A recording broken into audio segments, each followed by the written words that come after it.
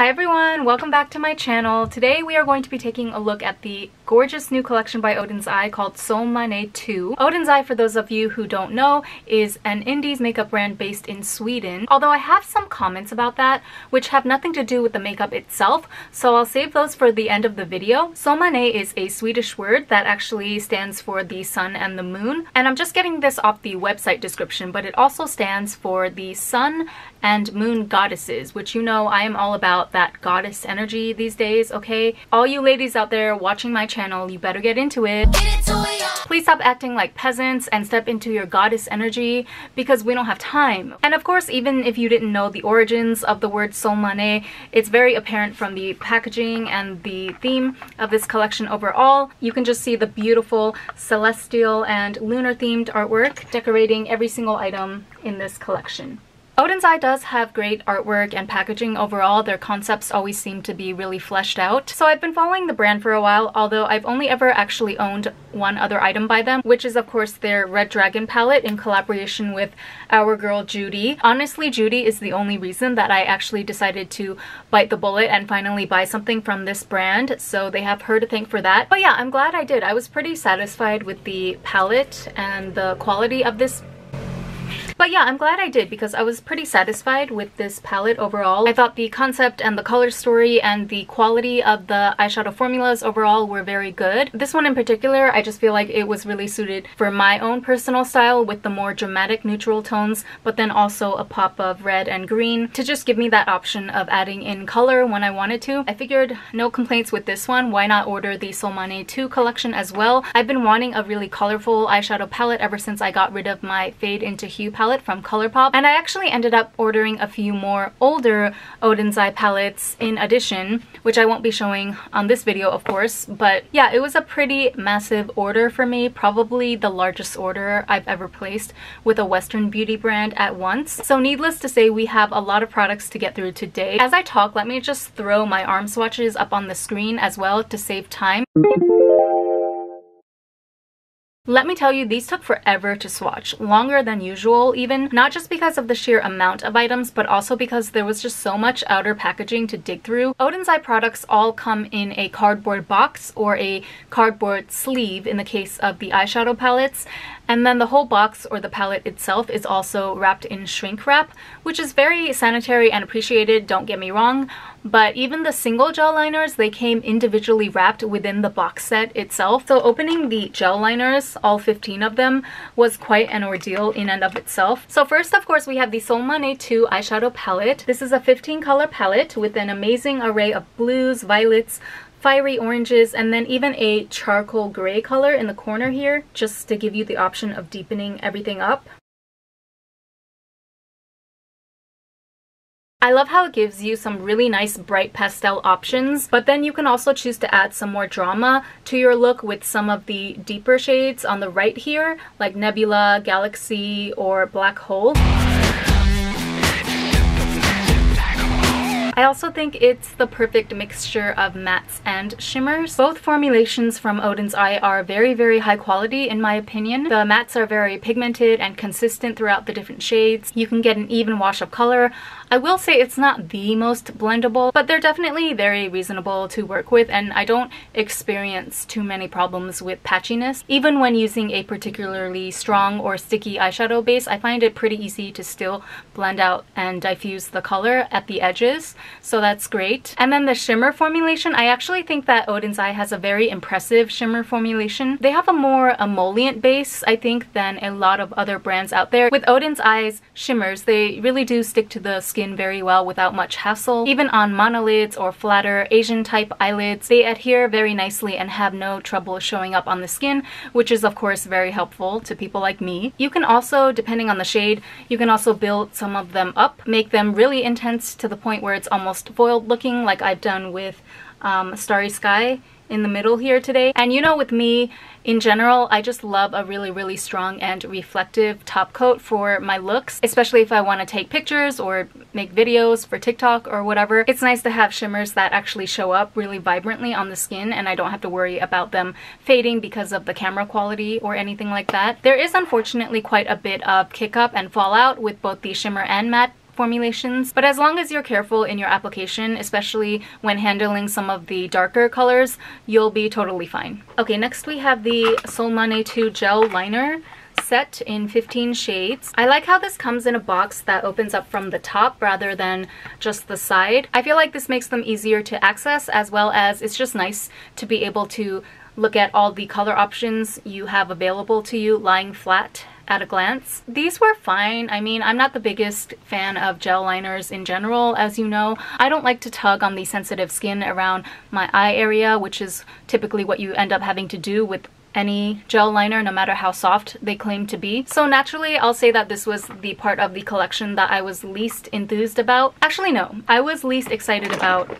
this mirror right here which I got in orange only. They also have a violet color just because I don't need another mirror and I'm cynical enough to know that no matter how cute they make these things, whenever brands throw in a mirror or a pouch or even a makeup brush set into these bundles. It's kind of like a cheat code way to increase the brand's profit margins because these things are not as expensive as the actual makeup to produce. However, they drive up the price of the bundle right? I mean, it is cute though. It's dual-sided, so there's a normal mirror and then a 3x magnification mirror, which I never use the magnified side of a mirror because it always gives me a headache. Personally, I almost prefer just a one-sided classic hand mirror with a solid back is anyone else with me on this? But back to the gel liners. So I think they're fine. I mean, they get the job done. They're very comparable to ColourPop's cream gel liners. So if you have those, I would say definitely skip out on these. Maybe the Oden's Eye formula is just ever so slightly a little softer and more pigmented, but again, very comparable to the ColourPop liners. For almost all of these, the tip broke off immediately when I started swatching because that's just the nature of gel liners. I mean, it's a soft gel formula and it comes in this thin twist up situation. So I almost expected the tips to break off, but it's still very annoying. It's like product wasted, right? They also come with mini sharpeners at the end of each pencil, which I don't think I'm gonna use. Again, because it's already a thin twist up style. So color-wise, they're all very richly pigmented, very intense, except for this one, number 10. This one is in the shade Galaxy. It's like a very faint metallic Cinderella blue when I swatch it against the back of my hand. I tried to put it in my waterline for today's look, but it just did not show up whatsoever, so I gave up and just went with the milk white color instead. Okay, next we have the Sunlight Love blushers in six shades, three matte and three shimmery. The first matte shade, B101 Sunset Clouds, was actually shattered upon arrival. I don't know if I'm gonna ask Oden's Eye for a replacement, honestly, because I just don't know if I can be bothered. I definitely think I deserve one if I do ask them because these retail for $20, over 20 US dollars each if I were to buy them individually. This is actually the first time I've ever had any makeup break on me while in transit, which is kind of surprising considering how often I order from overseas, but I guess there's a first time for everything. On the whole, I think both the matte and shimmer formulations are very pretty, very girly. The shimmer shades have this glittery overspray in just one corner of the pan here. Unfortunately, this is just an overspray. It does not continue all the way down through the pan, so that's kind of a bummer. The only other critique that I really have on these blushes is that I felt there could have been more variation shade-wise for sure. If you look at the selection, it's basically five peachy corally shades with one rosy pink shade. And of course, that's the one that shattered on me in transit. And I'm actually wearing that one, Sunset Clouds, on my cheeks today because I was getting sick of all of those peachy toned shades during the swatching. At least part of the powder is still intact. It didn't completely break, but I still think that I deserve a replacement from Oden's Eye. And then finally we have the Moonlight Feel highlighters, also in six shades. I like how they made the packaging for the highlighters the moon motif, and then the blushes are of course the sun. Okay, if we're gonna keep it real, it's a really basic concept at the end of the day, but it's the kind of basic I can get on board with, you know? With my astrology-obsessed self. Anyway, so these are all very, very pretty reflective shades. There are varying levels of intensity amongst the six shades, but overall they're all pretty intense and dramatic with a beautiful wet looking dewy effect and a beautiful shift depending on the angle the light hits it. So if you are that type of person who does not like a dramatic glaring stripe of a highlight across your cheek. If you prefer something more subdued or barely there looking, then these would definitely not suit your taste. However, if you like a really intense highlighter, cyborg gleam level as I like to call it, these may be worth checking out. I think the most blinding and also the most unique shade out of these has to be H104 Lavender Dream, which is what I have on my cheeks right now.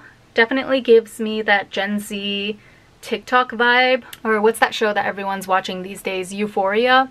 I've never actually watched the show, but I just know that a lot of people like the aesthetic from that show. Oh, and I heard that the makeup artists for that show also came out with their new line called Half Magic, which everyone in the western beauty world is going crazy over right now. So there you go. That was actually like I gave you my swatches as well as my individual thoughts and reviews on each of the products at the same time. So now all that we have left is the eyeshadow application. Stick around if you want to see how I achieved today's look. And then at the end, I will give you my slightly shady thoughts on the Oden's Eye brand as a whole. I swear I'm not trying to be mean unnecessarily, but you know I have my little opinions and conspiracy theories always, so if you want to hear about that, stick around to the end of the video. But for now, let's get into how I achieved this look.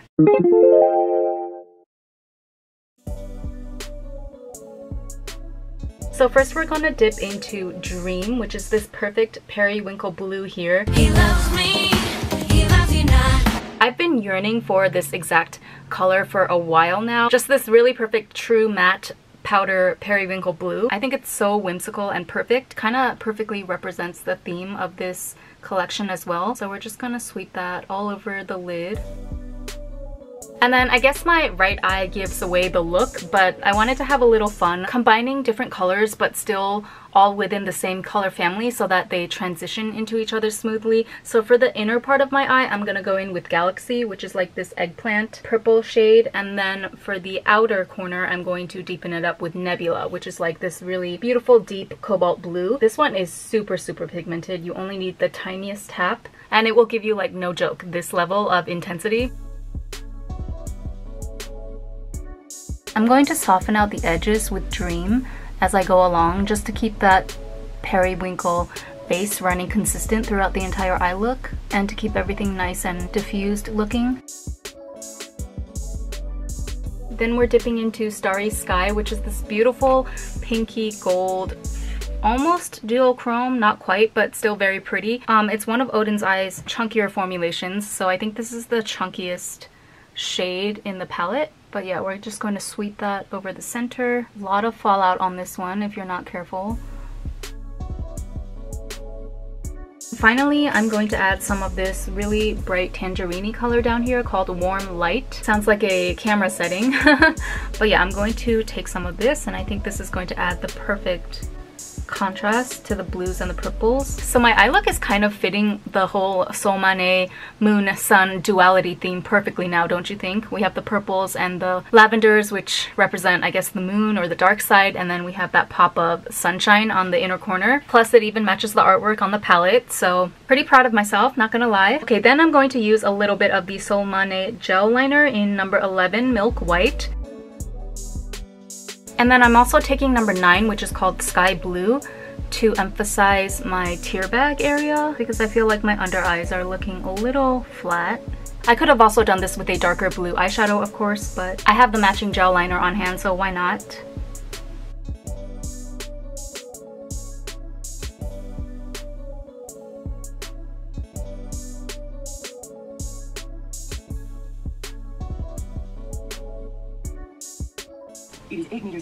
meters wide and 60 meters long. Two solutions. Either the Egyptians cut the hill, but then one needs to show how it was possible to cut a hill to a height of 8 meters. Joseph Davidovitz, helped by 10 participants, poured four blocks weighing two tons in two weeks. Ah, six hours later, right? I was so tempted to just upload the review without this part because, child, I am tired, okay? And you know, the makeup is holding up well, so I'm pleased about that, but let me just tell you guys, I am so sweaty and gross right now. I cannot wait to just hop in the shower and wash every inch of my body, not just my face. And tomorrow is Monday too, so the cycle is gonna begin all over again. I don't even get the chance to breathe. But no, I just feel like I have to say this really quickly before I leave because it did kind of rub me the wrong way, I'm sad to say. And this is not to be nasty, I'm not trying to make a big deal or anything, but there are just two things basically that I noticed with this purchase, and I guess just the Oden's Eye brand in general this time around. Like I said, it just rubbed me the wrong way, or at the very least confused me. So I ordered the Solmane 2 bundle collection along with the Norns eyeshadow palette and Angelica Oles's um, Hila palette that she did in collaboration with them. The Solmane collection shipped separately from the other two palettes, which makes total sense, right? Because they probably prepackaged a bunch of the Solmane 2 bundles to get them ready for launch day. So they came from two different warehouses, actually two different countries, which is totally fine. But when I looked at the specific countries on the shipping labels themselves, it said they were shipped from Hong Kong and Singapore. Also, all of Oden's Eye makeup is made in China, actually. They do have the cruelty-free bunny mark, but I feel like it's one of those loophole situations where where as long as they don't sell directly to Chinese consumers, they can still get away with having the cruelty-free status. I don't know. That's kind of a side tangent anyway. It's not really relevant. I know it's not like a scandalous thing. Plenty of companies manufacture things in China, but I feel like with certain goods, especially with makeup, brands do use the location of manufacturing as a selling point oftentimes. Like made in Japan or made in Korea, made in Italy, Jaclyn Hill. So I feel like in this case, Oden's Eye is definitely doing the same thing. They're using the Sweden-based Indies Swedish makeup brand as a prestige selling point, kind of like raise their value in the eyes of consumers, but then yet they're basically depending almost solely on cheaper materials, cheaper manufacturing costs, resources, probably labor as well of that of Asian countries. And they don't even write on their website, as far as I can tell, that any of their products are in fact made in China. So I don't really like that if I'm gonna be honest. Because it's like, okay, so then why don't you just say that you're an Asian makeup brand then? Oh wait, I know why, because the Scandinavian country sounds more bougie. Mm-hmm, okay, I see the games that you're up to. Look, even with all of that aside, I still felt like I could give this brand a chance because of the fact that they did collaborate with Judy, who is a smaller Asian influencer who I stan. So they definitely got points in my book for that. But then that brings me to point number two, which probably is perplexing me the most out of everything here today. When I looked at the invoice included in my package, it said said clearly that I used the discount code Angeshka, which is actually Angelica Oles' discount code. Nothing against Angelica Oles, okay? This is really not to insult anyone. I watched some of Angelica's videos. I think she seems like a really, really nice lady. But I specifically put in Judy's name for my order because that's who I want my monetary support to go to at the end of the day, a fellow Asian creator. I even have the original email invoice to prove it. It clearly says Judy. So I know for a fact that the computer didn't accidentally switch out Judy for Angeshka. And I hate to go this far, but isn't Angelica Oles herself Swedish? She lives in the US now, but she's originally from Sweden, right? So is it possible that somebody purposely switched out my favorite Asian beauty creator's name with that of a native Swedish beauty creator at the time of my checkout because you're not about to gaslight me and what games are you playing here, Oden's Eye? I'm honestly contemplating if I should pull a Karen. I'm honestly contemplating if I should pull a Karen here. I feel like this is one of those rare situations that maybe warrants a tiny baby Karen move. You know, just emailing them and letting them know that, hey, make sure you give the kickback on this order to Judy because that's the name that I put down. You know, my order this time was over $300, so even 15% or whatever the kickback rate it is that these creators